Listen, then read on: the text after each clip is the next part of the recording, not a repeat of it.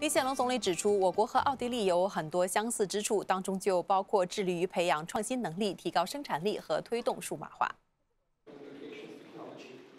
新加坡和奥地利在两国总理的见证下签署了合作备忘录，同意交换有关数码经济、数码政府、电子商务等领域的信息，并分享经验。李显龙总理说，这是双方在加强数码化方面合作迈出的第一步，两国还可以在其他方面深化合作。Many more Austrian companies with technology and potential, particularly the middle-sized companies, who are not so familiar with the Far East yet. And if we can reach out to them and, uh, and, and engage them uh, and encourage them to come and understand what the opportunities are, I think there's a lot of potential. 我国今年是亚细安轮值主席国，而奥地利目前是欧盟理事会轮值主席。两国领导人都认为可以利用这个契机。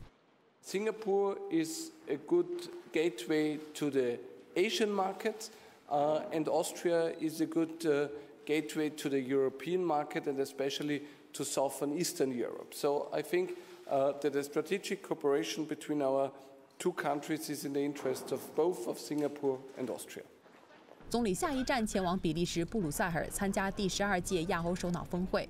总理希望我国星期五同欧盟签署自贸协定，能促进亚西安和欧盟也达成自贸协定。